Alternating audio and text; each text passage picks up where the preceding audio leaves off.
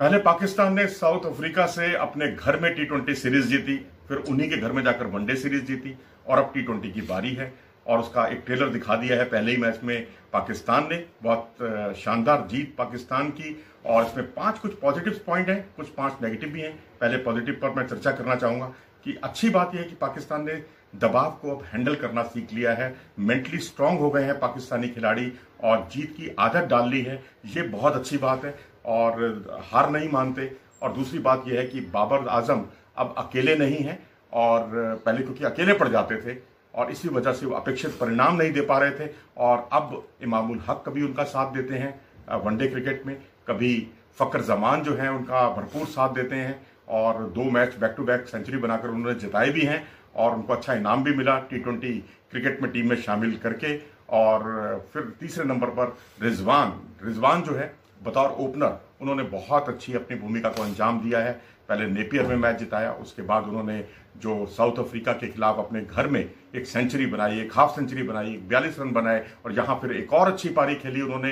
दबाव में बहुत अच्छा खेलते हैं। मगाली और लिंडे की जो उन्होंने धुनाई की है लगातार गेंदों पर वो वास्तव में काबिल तारीफ़ है। मिडिल ऑर्डर पाकिस्तान का वनडे क्रिकेट में बहुत कमज़ोर था, लेकिन यहाँ पर मिडिल ऑर्डर बहुत स्ट्रांग है टी ट्वेंटी क्रिकेट में, जहाँ पर हफीज भी आते हैं, जो जिन्होंने अपना सौवा टी ट्वेंटी मैच खेला है, बहुत अपने आप में बहुत बड़ी बात। लेकिन इस मैच को वो यादगार नहीं बना पाए, वो एक अलग बात है। लेकिन साथ में हैदर अली हैं उनके साथ, इंग्लैंड में एक मैच जितवाया था दोनों ने मिलकर, और उसके अलावा लोअर मिडल ऑर्डर की बात करें तो यहाँ पर इनके पास पाकिस्तान के पास फहीम अशरफ और हैदर हसन अली क्षमा की जगह हैं जिन्होंने बहुत ही कम गेंदों पर कभी 200 कभी 250 की स्ट्राइक रेट से रन बनाए हैं मैच जितवाए हैं ये अपने आप में काबिल तारीफ़ बात है। और एक अच्छी बात पांचवी और अंतिम बात यह है कि बेंच स्ट्रेंथ अब धीरे धीरे मज़बूत हो रही है जहाँ शरजीत लंबे समय बाद वापसी करते हैं।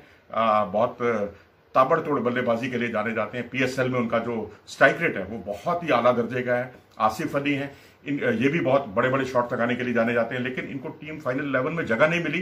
बेंच पर हैं अभी, और बेंच के ये खिलाड़ियों को जब अवसर मिलेगा तो निश्चित तौर पर ये भी कहर बरपा सकते हैं। खराब जो अभी नेगेटिव पॉइंट्स हैं, वो बॉलिंग है।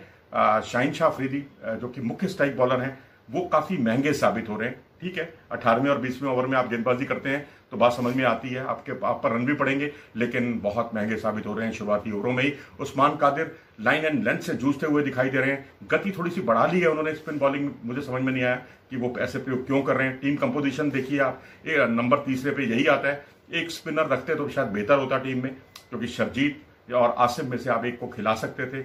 रिजवान, क्योंकि रिजवान से पहले मतलब अगर आप देखें तो हफीज हैं, जो दो या तीन ओवर फेंक सकते हैं, अच्छी गेंदबाजी कर सकते हैं, और रिजवान और फक्र जमा जो है, अगर ओपन करें तो मुझे ज़्यादा अच्छा लगेगा। गुच्छे में जो विकेट खोते हैं पाकिस्तानी, वो थोड़ा उससे बचना होगा। लगातार जो एक साथ विकेट गिरते हैं, हैदर अली और नवाज़ का यहाँ विकेट गिरा। वनडे में हमने चार चार विकेट गिरते हुए देखे हैं, बहुत ही कम स्पैन में।